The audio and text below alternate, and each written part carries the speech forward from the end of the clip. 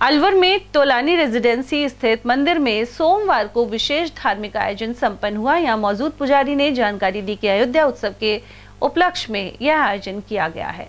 इस मौके पर गायत्री महायज्ञ संपन्न हुआ। वहीं राम दरबार में विशेष पूजा अर्चना की गई। कार्यक्रम में छोटे लाल सहित अनेक श्रद्धालुओं की मौजूदगी रही। आज रामलला स्थापना दिवस के अवसर पर तोलानी रेजिडेंसी अलवर में भी यहाँ के निवासियों ने सामूहिक सहयोग से राम दरबार की स्थापना करवाई। जिसका गायत्री महायज्ञ के माध्यम से हर्षोल्लास से यहाँ पर स्थापना हुई और बहुत खुशी का माहौल यहाँ पर